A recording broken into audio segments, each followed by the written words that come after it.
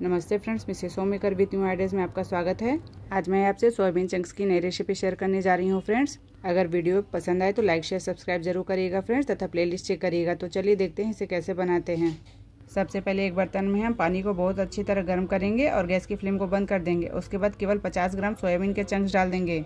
उसके बाद इसे पूरी तरह ठंडा होने देंगे। उसके बाद हाथों से दबाकर इसके पानी को निकाल लेंगे। और चंक्स को हम मिक्सर जार में डालते जाएँगे। इसी तरह सारे चंक्स डाल लेंगे, उसके बाद इसे रुक रुक कर हम पीस लेंगे। ध्यान से पीसीगा, क्योंकि ना हमें बड़े टुकड़े चाहिए और ना ही हमें एकदम पेस्ट चाहिए। देखिए, इस तरह से एकदम टेक्सचर होना चाहिए।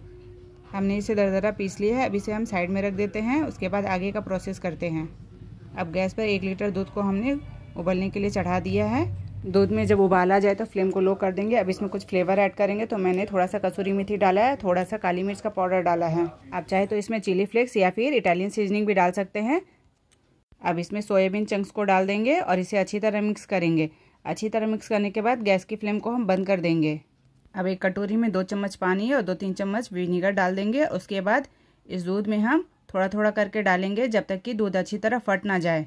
विनीगर के बदले आप नींबू का रस भी इस्तेमाल कर सकते हैं फ्रेंड्स अब इसे हम कपड़े में छान लेते हैं। कपड़े में डालने के बाद इसे नॉर्मल पानी से एक दो बार धो लेंगे फ्रेंड्स ताकि सिरका का कोई स्मेल ना रहे। अब इसे अच्छी तरह हम निचोड़ लेंगे और उसके बाद इसके ऊपर कोई भारी चीज़ रख देंगे ताकि ये सेट हो जाए। ध्यान रखें फ्रेंड्स एक लीटर दूध में केवल 50 ग्राम सोयाबीन इस्तेमाल करिएगा। अगर आप ज़्यादा सोयाबीन इस्तेमाल करेंगे तो ये ठीक से सेट नहीं होगा, यानी आपस में ठीक से चिपकेंगे नहीं, जिससे आपके सोयाबीन के पनीर ठीक बनेंगे नहीं। और देखने में प्रोसेस लंबा लग रहा है फ्रेंड्स लेकिन एक्चुअल में है नहीं। एक बार आप ज़रूर ट्राई करिएगा। जब भी इस रेसिपी को आपको बनाना हो, सुबह सोयाबीन के पनीर बना लीजिए, तब शाम को सब्ज़ी बनाइए, इससे आपको सुविधा होगी। एक दो घंटे के बाद फ्रिज में पनीर को सेट होने के लिए रख दे फ्रेंड्स मैंने इसे तीन से चार घंटे के बाद निकाला है फ्रेंड्स क्योंकि मुझे अब रेसिपी बनानी है। तो चलिए मैं आपको दिखा देती हूँ। देखिए, इस तरह से पनीर सेट हो गए हैं। अब इसे मनपसंद टुकड़ों में काटते हैं।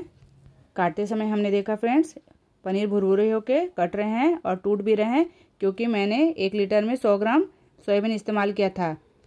तो मेरी गलती आप ना करें, एक लीटर में आप पचास ग्राम ही सोयाबीन का इस्तेमाल करें। इस तरह से भुरभुरा होकर टूटे हैं फ्रेंड इसलिए मैंने बहुत ही मोटे मोटे टुकड़ों में इसे काट कर रखा है। अब चलिए इसे फ्राई करके निकाल लेते हैं। आप इसमें नमक डालकर स्नैक्स के रूप में भी खा सकते हैं। वीडियो थोड़ा लंबा हो रहा है फ्रेंड्स तो मैं नेक्स्ट वीडियो में इसकी रेसिपी शेयर करूँगी। इसकी रेसिपी देखने के लिए मेरे चैनल में ज़रूर विज़िट करिएगा फ्रेंड्स। वीडियो देखने के लिए धन्यवाद।